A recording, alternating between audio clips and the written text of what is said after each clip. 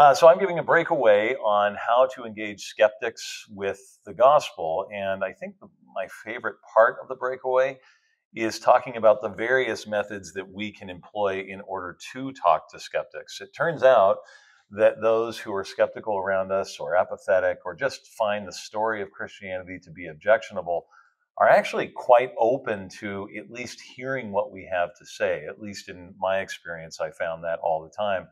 And yet, no one method is guaranteed to be sort of the golden ticket to get access into people's ears. Ultimately, that's the work of the Holy Spirit.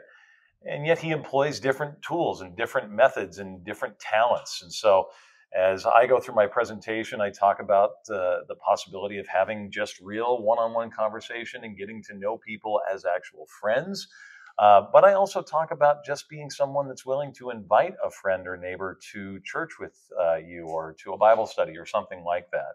Uh, it may be that for you, the easiest way or the best way to share your faith is by actually just going at them and sharing your faith, going at them and sharing the scriptures.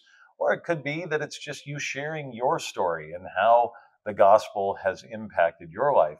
And there's many other ways that you can share this story with your skeptical friends and neighbors. And you're going to find that more often than not, again, they're actually open to at least hearing what you have to say.